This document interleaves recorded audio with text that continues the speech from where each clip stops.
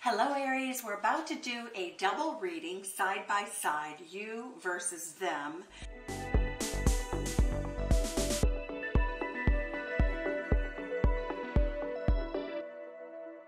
The overall energy in the recent past that you've had towards your person is that you want the truth, the whole truth, and nothing but the truth.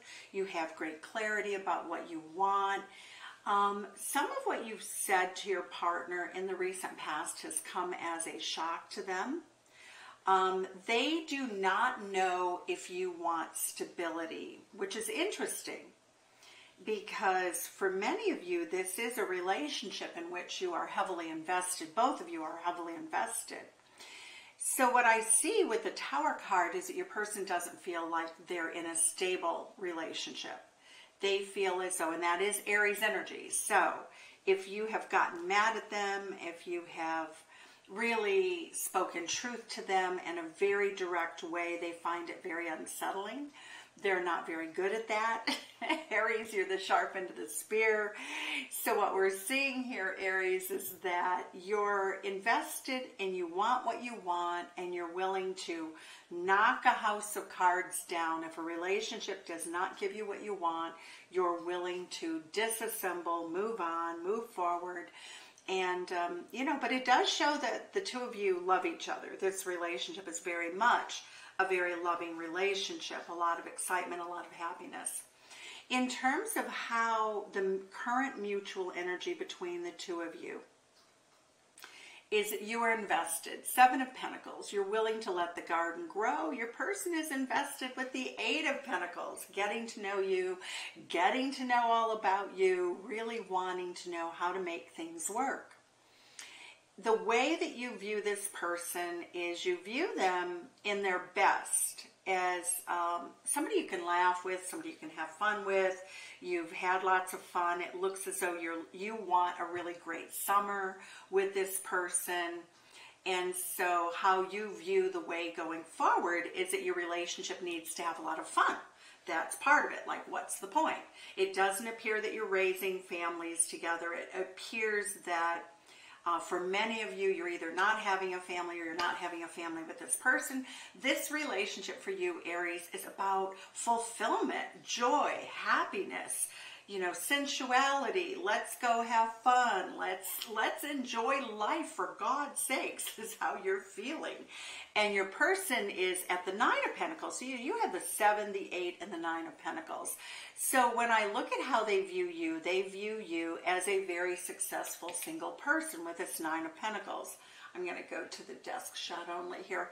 Um, okay, so what we're seeing here, Aries, is that again, your person's very invested in you. They feel that you bring so much talent, so much energy, so much abundance to the table, whether that's earned income, whether it's your talents, but they just feel as though they've never been with anybody as good as you, as talented as you. That Nine of Pentacles is you know, wow, you know, lucky me, I've got this, you know, I have this beautiful Aries person who looks good, smells good, everybody wants them, they're highly desirable, you're very independent. So when we look at, I'm getting a really strong theme here that in terms of how you see them, you will, again, this is a very, very strong energy here of how you want the truth because we have the Queen of Swords, the Ace of Swords, the Justice card, and we have the Tower card. And the way I see this, Aries, is that if your person doesn't tell you the truth, if they are not honest with you, if they are too much of a lightweight with you, you really don't want to pursue the relationship. I feel that both of you, again, are very much in love with each other. However, you've gotten to this, your relationship is mature. Because with the seven, the eight, the nine of pentacles, it tells us that the overall energy for you coming into the reading is wanting stability, wanting to be have fun, wanting to enjoy your home, wanting to entertain, wanting to have a good time, wanting to go on a honeymoon, sun card. So Aries, you're in this very very bright shiny energy that's quite lovely. When we look at the when we look at the Queen of Swords, the Justice card, the Knight of Swords, the Knight of Swords, what I'm seeing is you want them to hurry up and catch up with you. You feel as though you're way ahead of them in terms of how you think about the relationship, and that you want what you want and you're willing to do whatever it takes to get it. You're viewing your person as a lightweight in love. You really see them as um, somebody who isn't very experienced, somebody who's a bit flaky, somebody who uh, is almost childlike in their responses sometimes with you. When we see what your person wants, they want to move forward very quickly with you. They, this is what I call the quote unquote man with a plan, moving forward very rapidly. They feel as though you are the person that they want to be with. We have the Ace of Wands. They find you highly exciting. A very erotic relationship is what they feel they have with you.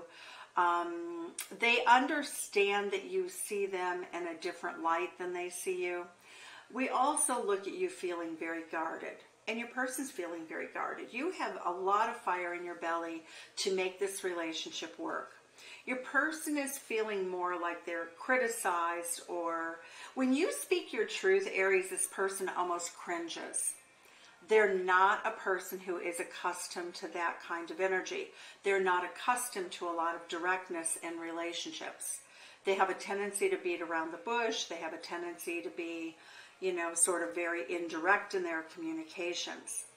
When we look at the energy that is mutual between, you know, you and this person uh, that's hidden, I have no idea what that noise is. So anyway, I'm going to go forward here. The Knight of Swords energy says that both of you are in a hurry to make this relationship work. Both of you want tiki torches, starry nights, romance, love, and adventure in life. When we look at your stability factor in the relationship, we have the King of Pentacles, and the King of Pentacles is Taurus energy. So, you know, we have Leo energy, we have Taurus energy, we have Virgo, Virgo, Virgo or Taurus there. We have Aries, we have the air signs, Libra, Libra, Aquarius, Sagittarius, and, um, and Gemini energy. So we get both of you wanting, you're both on the same page, you want the same things um, how you see yourselves getting there is very interesting because you're highly invested. You're very invested. Your person's very invested. Your person would like to have some sort of legal tie to you to secure the relationship. As far as you're concerned, it's the emotions that will secure this relationship. It's the loyalty with the dog here. It's the passion, Aries. It's this person being willing to bring what they have to the table just as you bring what you have to the table.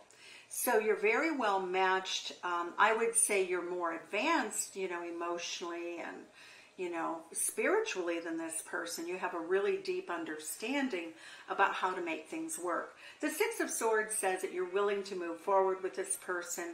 You're willing to pay attention to the past, but you're not going to let it define you. Your person, however, feels as though you might send them packing. They feel also Ten of Swords stabbed in the back.